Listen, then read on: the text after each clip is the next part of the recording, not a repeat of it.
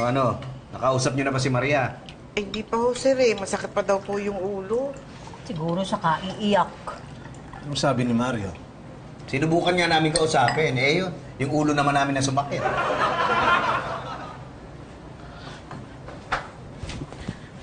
Alam nyo, hindi ho kaya nababaliw na yan si Maria. Sabi ka naman, baliw ka agad. Eh, hindi nga ho ba nabagok yung ulo niyan dati? Oo, oh, tumalino nga siya nun, di ba? Oo. At dahil siguro nasobrahan yung talino, unti-unting nalulusaw yung utak. At tapos ganun ang naging epekto. Parang hindi naman yata mangyayari at tumalino noon, tapos nabaliw ngayon. O, imposible naman yata yun. Patay na ka. Patay? Patay na. Wala po. Pitch, dali na natin siya sa mental.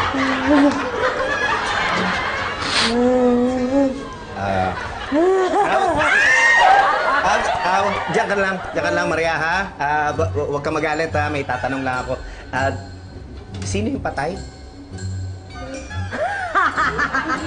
Yung hipit, pero kulit kasi lipad ng lipad, pinatay ko na.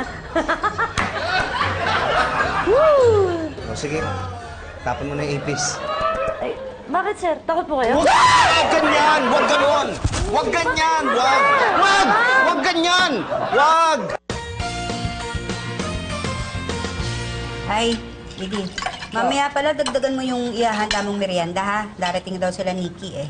Okay po. Sino po palang kasama ko magatid kay Clarissa sa school? O, bakit? Nasaan si Maria? Ah, eh, sir, masama po ang pakiramdam, nahihilo at saka hindi makabangon. Eh, ikaw na sumama. Opo, ma'am. Pero ano ha, tignan niyo muna kung may gamot pa si Maria dyan. Pag wala, eh, di bilhin niyo na pag alis niyo, ha? Opo. Sige. Bi, duda ko papunta na yun sa sinasabi ko. Ewan ko ha, pero... Eh, ganyan na ganyan yung tsahin ko eh. Madalas mahirot, tsaka lagi sumasakit yung ulo. Tapos? Ayun, nabaliw. Boys, tapos nyo na bang pagchismisan si Maria? Oo, Pitch. Paano mo nalaman? Bira naman kayo, magbubulungan kayo. Ang lakas dinig na dinig namin eh. Sa susunod, pag magbubulungan kayo, hinaan nyo naman, okay? Sige, Pits.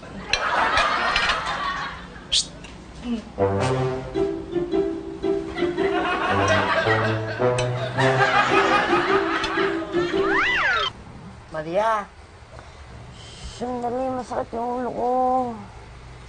Gusto mo bang daling ka namin sa ospital? Hey, baby. Pag masakit pala yung ulo ko, naging kaboses mo si ma'am. ako ba, hindi ako yun.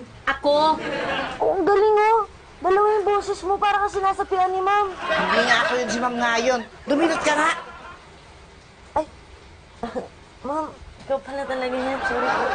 Ako nga namin, nagpa-check up ka na ba? Ay, ma'am, di na po. ah, medyo pa wala naman na po yung sakit. Medyo nahihilo lang, pero okay na rin po. Mm, Sige, magsasabi ka kung may iba ka nararamdaman, ha? Opo, opo.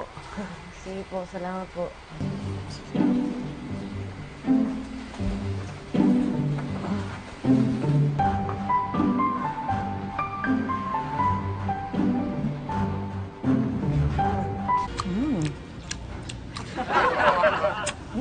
Maria! Po. Andiyan ba si Pipito? Ay, opo, nasa loob. Kumakain lang po sila. Ano ba? A- a- anong ulam nila? Ay, naku, makikikain po kayo. Wag na po ang baho nung niluluto ni Ma'am Elsa. Talaga? Hmm. Mas mabaho pa sa bagoong mo? Opo, kaya nga po ako lumabas eh. Gutom na gutom pa naman ako. Wala akong pera kasi pangkain eh. Ano po ba? Ito po. Talaga? Opo. Oy, Maria, bakit pinapautang mo na naman si Mantowi? Hindi naman ako umuutang eh. Binibigyan na ako ng pera. Salamat ha. Maria, ba't mo binigyan ng pera yun? May utang pa sa atin yun eh. Eh, kawawa naman walang makain eh. Hindi sana binilgay mo na lang yung mangga mo. Ito, ayoko nga akin to eh. At saka bakit ganito ka ba sa labas? Pumasok ka nga sa loob. hindi, eh. hindi ko kaya yung amoy nung niluluto ni Ma'am Elsa. Sakit, na, ang sakit sa ulo. Baho. Nagpa-check up ka na ba? Ano? Baliw? Na, ano, papahinga ko na lang to tsaka sayang lang sa pera. Ay, naku. Halika na nga, pumasok ka na sa loob. Doon ka na pahinga. Hindi Halika na. na, nagugutom na ako. Magbubukas na lang ako ng sardinas. Hindi ko talaga kaya yung amoy nung nung niluto ni ma'am. Sino ba kayo? Hindi ako makaisip ng diretso eh. Diyos ko, alam mo naman nag-iisip siya. Tara, kain tayo. Oh, kumain ka na? Oo, pinapasoli ni Mimi. Ay, Auntie Sally Marie. Oo. Robert, ikaw muna bahala ah. Baka dumating na yung order ko pa ba? Sige. Si Maria, asan? Nasa kwarto pa niya. Nagpapahinga, masakit pa rin yung ulo eh. Kakausapin ko lang. Sige. May sakit ka. Oo, natatakot nga ako eh. Sakit ng ulo ko. Tapos pag minaamoy yung mabaho, ay grabe. Naligo ako. Hindi ako mabaho.